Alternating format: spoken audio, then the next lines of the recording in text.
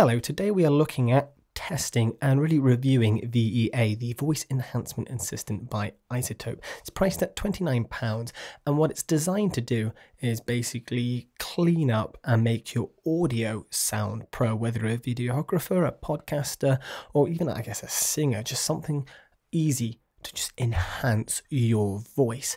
Now, previously, and currently, I guess, I use the Elements version of RX, which basically denoises the audio I'm currently using and just makes it sound that little bit more professional. But this is a cheaper alternative and essentially does a little bit more. It EQs it, it boosts it, it has these three different settings shape, boost, and clean. Clean, well, it just reduces any noise, any hiss or background buzzing. Boost apparently makes your voice more powerful, but in all honesty, I think it's just a bit of compression and gain. Oh yeah, it says it right there, compression and limiting. Well, there you go. And then shape, this is kind of your EQ.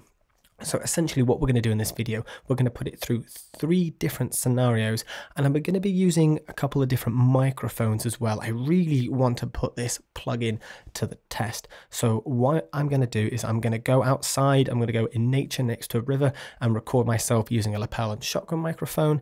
I'm then going to go into town uh, where there's traffic and people talking and test it there as well. And then we'll come back in the studio and test it on kind of my bog standard setup, but we'll still use a shotgun microphone, a lapel microphone, and my studio microphone. But before I go out, I feel it's important that we have a quick look at the plugin uh, and see what we actually have. So initially, when you actually load it up, it says it waits for an audio signal. So you'll see that when we go straight into the demos.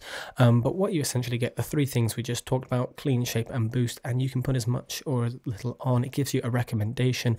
There's a default, there's public radio, there's a couple of different uh, options there. There's a bypass button, there's a, a redo button because it is an automated assistant, kind of automatically works out what it feels is best for it. There's a dark and a light mode. I think I prefer the light mode. If you actually look in the settings, there's a show reactive visuals, although I guess that could be a little bit CPU heavy. I'm not going to personally use that in this video because I've got a lot going on and I'm recording my screen, but that's an option too. So for the first one, I will show you how it does it, the automated assistant. Um, but for the rest of the demos and for the second microphone, uh, I'll do that off camera. I'm not going to touch or edit anything. I'm just going to do its recommended settings, but I have done it for every single audio clip. I've not just used the same one uh, for the bit in the woods and the same one for the bit in town. I have redone the assistant uh, to see what it comes up with. It's just that will be off camera just to make this video move a little bit more smoothly, um, but I will flick through everything and I'll make sure I title everything so you know when the plugin is on and when I've swapped microphones. But let's now take this out the studio and start doing some demos.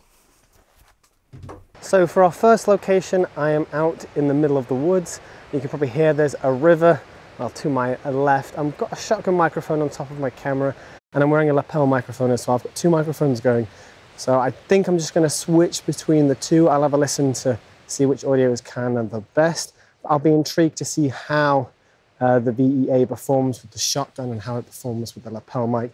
If it can uh, make my voice sound more clear. I know the lapel, I'm not the biggest fan of it. It sounds a little bit muffled, especially compared to the shotgun, which I feel is sharper and has a better treble. But I'm intrigued to see if the, well, the plugin reduces noise from the river, if it reduces the ambience. I know there sometimes can be a bit of noise on this shotgun microphone as well, so if it completely gets rid of that. So fingers crossed, I'm very intrigued to see how this plugin performs. Uh, might be saving me a little bit of money and save other people money instead of having to buy iZotope's RX. But I really regret using this camera because it's super heavy. I'm gonna have to use two hands to hold it now. I'm trying to give room on the camera so we can have the plug-in to my left and my face on the right and the, of course, beautiful Welsh countryside. Um, but that's it from this location. Let's now move into town and get some more background noise of people.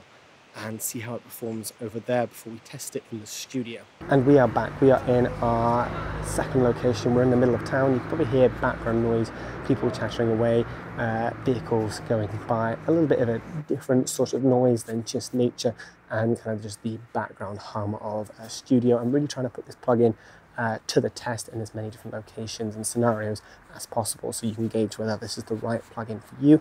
Overall it's a great price. It is aimed at more the videographers and podcasters.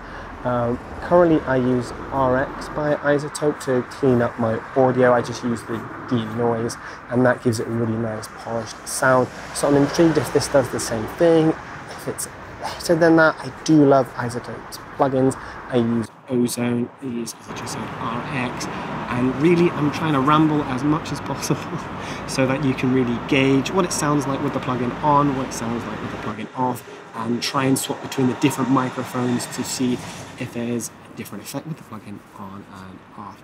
Um, but people are looking at me funny, so I'll probably move on and go into the studio now and do a bit more of a, a normal test. I say normal, that's how I normally record, but this might be how people normally record. So I don't know. We'll see if this plugin might be in for you or not. But I think that's enough time, so we're going to call it there. We'll see you back in the studio. And now we're back in the studio for the third and final test. This time I have three different microphones. I have my classic studio, the one I always use in all my videos. I've got the shotgun microphone, which you can see on that camera above me, and I have the little lapel microphone. So I'm trying to keep it consistent with the other ones, as well as include a studio microphone for a more podcasty way of doing things. So we've covered quite a few bases. So now let's really put this plug into the test and see if it's going to get rid of any background noise. Currently, the only noise I can really hear in the studio is the fan from one of my lights. Sometimes my laptop goes and you can hear the fan, um, but that's quite easy to get rid of with RX from iZotope. Um, so again, I'm really intrigued. Uh, firstly, comparing the microphones, these literally three different microphones here to see what if it affects the quality of them at all.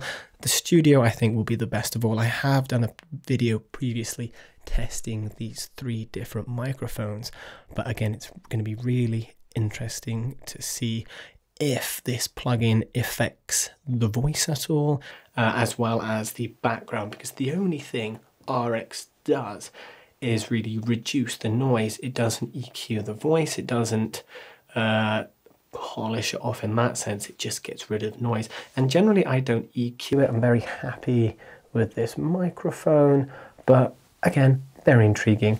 And this will be the final test. Um, I had no idea what the results are going to be yet. and this is going to be a very interesting video to edit and to put together. And something a little bit different for me to actually create. So it's going to be an interesting journey. So we will see how this goes. I think that's enough time of just randomly talking. Those results were rather interesting, and I think the biggest difference I saw was actually in the control in the studio setting. I really liked what it did to my shotgun microphone in the studio. It really, it just boosted it. It gave it a little bit more shape, uh, a bit more color. Uh, it felt more natural. The lapel microphone, I actually didn't like what it did to it in the studio. I still heard a little bit hiss on there. Uh, out and about, actually, the town one, uh, it feels like it kind of holds back a little bit on the noise reduction, which I can kind of understand because sometimes it puts too much, some plugins put too much and you just get that drop in and drop out effect, which doesn't sound very good at all. So I'd rather have the background noise than the constant gate of just dropping in and out. Does it do what it says on the tin? Yes, it does, and it does it really well, actually. It's very intuitive, and for especially somebody who's a complete novice who doesn't know, I guess, really what they're doing with EQ limiters, compressors, uh, and especially with the noise reduction, it did clean up my studio on the studio microphone. The lapel, I still had a bit of noise. Um, for a novice, this will, I feel, give you some really good quality audio. And I really like the fact that it holds back a little bit on cleaning up that background noise. Um, but it does shape the voice a little bit nicer. It does make everything feel a bit more intimate. And for £29 for what it does, I think that's a very fair price. Uh, it's not for the pros. Even on the website, if we flick back to it, it says right at the bottom, ready to go pro, and it takes you to RX 10, which I love the elements of that. And there's so much more you can get into with RX. But again, for the novice, for somebody starting out or somebody who specializes in videography and doesn't really work with audio, this could be a very intuitive and clever plugin. But what did you think? What did you think of the demos? Uh, what do you think of the results? Do you think I need to put this to the test a little bit more? Um, I'm intrigued to see what your opinion is. If you saw much of a difference, I hope you were wearing headphones. But that's my opinion. Overall, I am impressed, especially for the price tag. And when it goes on sale, it'll probably be even cheaper. So maybe watch out for those sales. But yeah, I'm pretty happy with that. Hmm. Thank you so much for watching. I'll see you in the next video.